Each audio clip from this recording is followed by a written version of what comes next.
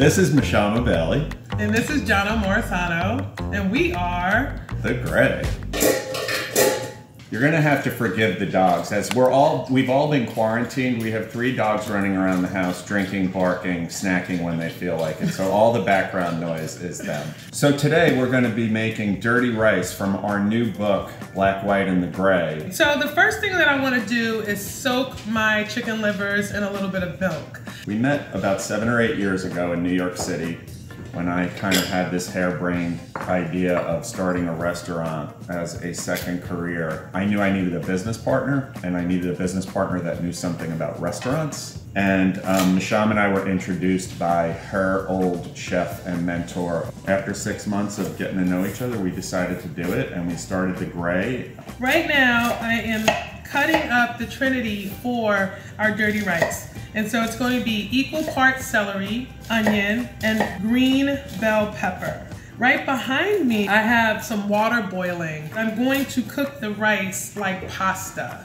The first time that I ever had dirty rice was at a um, beloved restaurant in the South called Bojangles.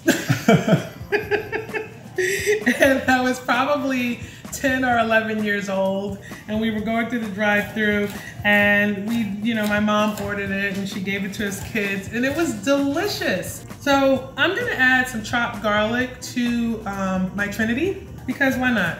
Garlic is delicious. So we're gonna drain the rice. We're gonna pour the rice into a strainer. This is what I do when we cook. Is usually I'm assigned the picking leaves off of vegetables task, which is fine by me. We're gonna chop up these livers and begin our cooking. I'm gonna pat these dry a little bit and I'm gonna chop them pretty fine because I want the livers to coat the rice. That's the part that makes it dirty. And I'm gonna take my knife and I'm gonna do a rough chop over Like if people either don't like liver or if they want to use something else, like what other meats can you use in this or proteins? I think you can use any protein you want. I think um, the thing that would keep it Creole would be the gumbo filé, which is made of sass- sassafras leaves. Um, that will keep it Creole. The Trinity, the Holy Trinity, keeps it Creole. If you don't like chicken livers, you can use ground lamb. You can use ground chicken. You can use pork, beef, your favorite protein. You can use. I would even use some fish. What's the veggie version? The veggie version, Tofu? I'm gonna go okra. Oh, interesting. Yeah. Okay. Go in the pan. We're gonna go in with our vegetables. I, just really think we eat dirty rice as a way to stretch out a protein. I think rice is really good for that. I think that rice helps um, fill you up. So it's nice to flavor it with something. Can you please add the garlic to the to the sauteed vegetables? And immediately you smell the garlic as Yeah. soon as it hits the pan. Yeah. So a little bit more butter. We're gonna let our butter foam up a little bit. And we're gonna dump in our livers. We wanna fully cook these.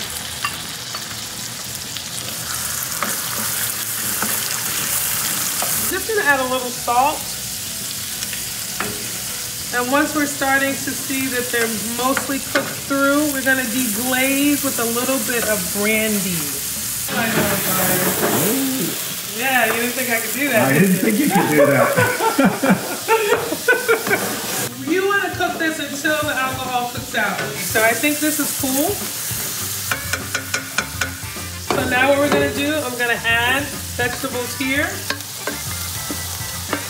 So we got our vegetables, we got our liver. Gonna add my gumbo filé. That's about two tablespoons. And you want this to be a little dry.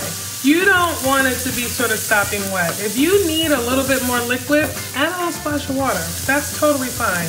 But you want the dry, you want it to be dry because you want it to adhere to the rice. And then we're gonna add our rice. Right now I'm adding in our long grain rice. I wouldn't use short grain rice.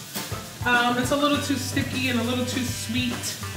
and I wouldn't use uh, a brown rice, but you can. If that's all you have, you can use brown rice. Brown rice is delicious and it goes well with um, all of these flavors. You want it to be a little dry. You don't want the rice to be wet. So drying it out in the oven or using day old rice is probably your best bet. So now we're fully incorporated and I'm going to taste for salt.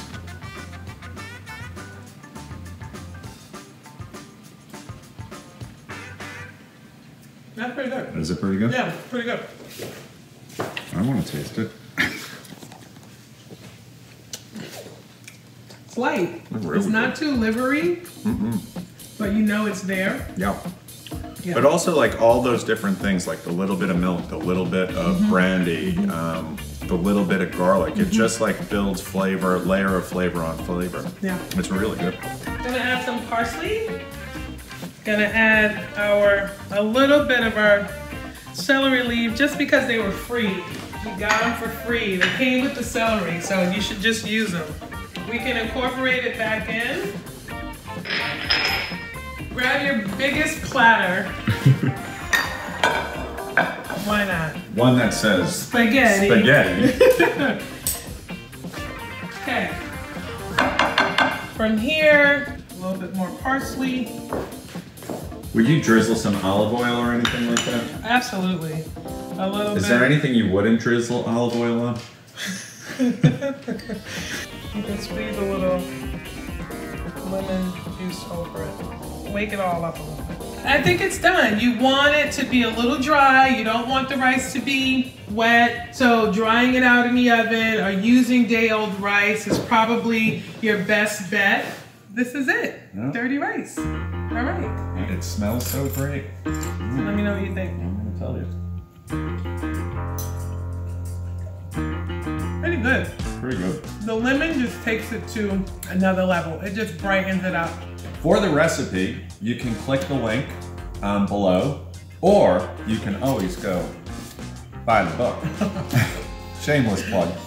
Um, and the, re- the recipe for dirty rice is on page 135. Um, and again, thank you everybody for um, for watching. Thank you so much. These dogs have been so patient. I'm wondering if We're gonna give them a little. we'll give them They're gonna eat a little bit. now. Just a little bit. All right. Thanks, everybody. Thanks everybody.